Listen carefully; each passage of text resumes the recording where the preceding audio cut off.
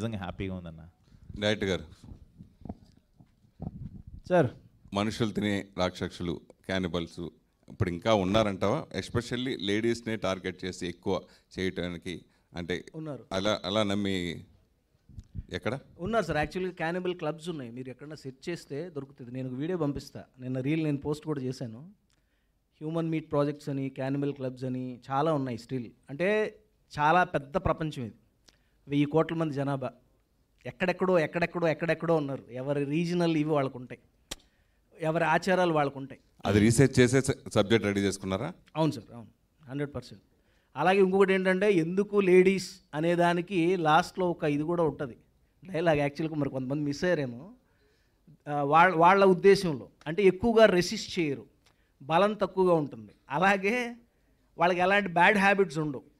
ఇలాంటివి కొన్ని ఉన్నాయి బట్ అది చూసిన తర్వాత అర్థమవుతుంది లాస్ట్లో. ఎక్కడన్నా అర్థం అవని వాళ్ళ కోసం ఈ క్లారిటీ ఇస్తున్నాను నేను.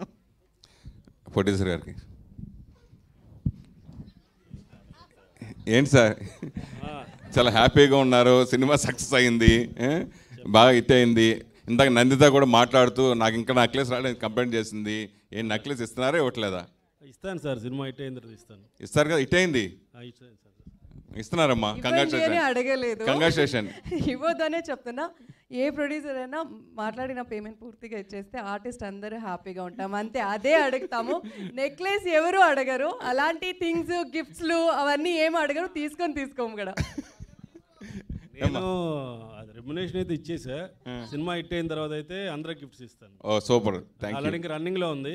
నెక్స్ట్ వీక్ లోపల చూసుకొని అందరికి ఇస్తాను. Thank you confirm necklace necklace ఇస్తారో ఏమి ఇస్తారో తెలియదు కానీ మా- నా ప్రొడ్యూసర్ గారు యాక్చువల్గా ఆయన సేఫ్ అయిపోయి డబ్బులు వచ్చినాయి. ఇంకొంచెం లాభాలు వస్తే ఇంకా పెద్ద గిఫ్ట్లు వస్తాయి మాకు. ఏం సేదర్ గారు?